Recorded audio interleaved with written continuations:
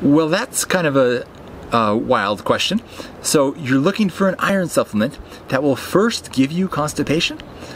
Um, I'm not quite sure what the motivation is here. Maybe you have a friend who you're trying to play a trick on or something and get them into taking a constipating iron supplement. I mean, I've heard of tricking people into eating Ex-Lax, but this is kind of the opposite. Okay, um, go for ferrous sulfate. Um, that is a, a common iron supplement that's pretty good at constipation. So give that a shot. Uh, but while we're here, for the sake of conversation, why don't we assume that this was some kind of a, an autocorrect that got you here and you're actually looking for an iron supplement that won't give you constipation. So let's first talk about why iron supplements cause constipation very often.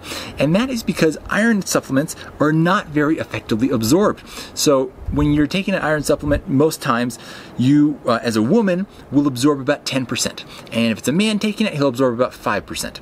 And if it's somebody with an iron deficiency taking it, they can actually upregulate absorption, and so they may get 20% out of it.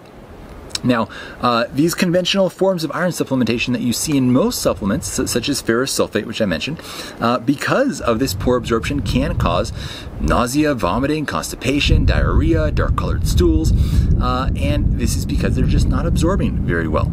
But you can look at a form of iron like iron bisglycinate. You can check this out from Thorne, for example. And this has 25 milligrams of elemental magnesium, sorry, not magnesium, ele elemental iron. Uh, and this is has been reacted with glycine. So it's actually much more easily absorbed by the body and much less likely to cause constipation and other forms of gastrointestinal discomfort. So give that a shot. I hope it works for you.